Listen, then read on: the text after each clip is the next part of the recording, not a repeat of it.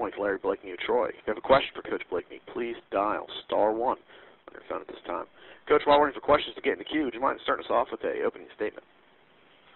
Well, it certainly was a a, a great uh, uh, win for us to, to be able to beat Western Kentucky anywhere, much less up there. And, and uh, you know, the, the there were some keys I think uh, that uh, you know we we did win the turnover battle by one, which might you, you never know in a close game. You know that probably had a lot to do with it.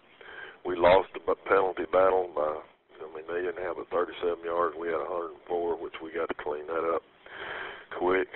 And our special teams, though, we kept number five, Andrews, from beating us on a return. And uh, I thought it was uh, well planned and, uh, and and well executed by our kids. And and uh, it was a physical game by both teams. And uh, and uh, you know, you know, we we just proud to get a get a win any kind of way, but it sure, certainly was a, a great win for us to to go to Western and, and, and be able to pull that one off. Thank you, Coach. Our uh, first questions come from uh, Tom Dorr with the uh, Sun Belt Network. Please go ahead, Tom. Yeah, Coach. Um, good to hear you. As you look at uh, at your ball club right now, going down the stretch, trying to get to that Sun Belt championship, trying to get bowl eligible, trying to do all the things that you're trying to do. Is there one or two things that you need to kind of that you'd say right now, if I could, you know, wave that magic wand and, and do this? There are a couple things that you'd like to be able to do that with.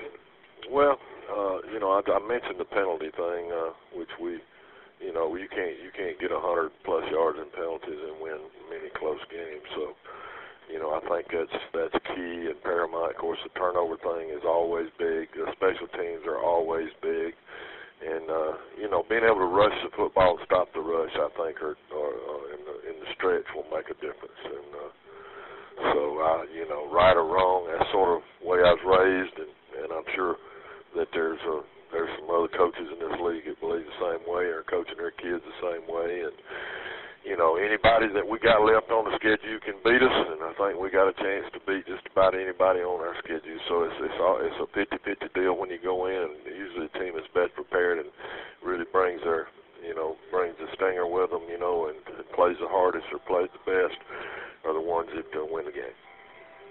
And then obviously the game uh, Thursday has taken on a much different tone now with their quarterback being back.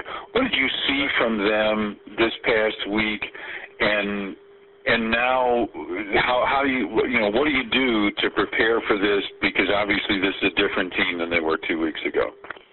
Well, they're uh, they're good regardless, and then uh, when you put uh, Kolton in there, you know he might he he opens all those doors and windows for them, you know, and uh, they can. Uh, they can do so many things. He's a he's an expert in their offense. He can throw and run, and uh, and they got athletes that he can get it to. And they do a great job. They know the offense. They you know and the you know the offense is complete when he's there. So you know we got to cover the whole deal. All right. Thanks, Coach. Yes, sir. Thank you very much, uh, Tom, and thank you, Coach. That's all the questions we have for you today. Do appreciate your time.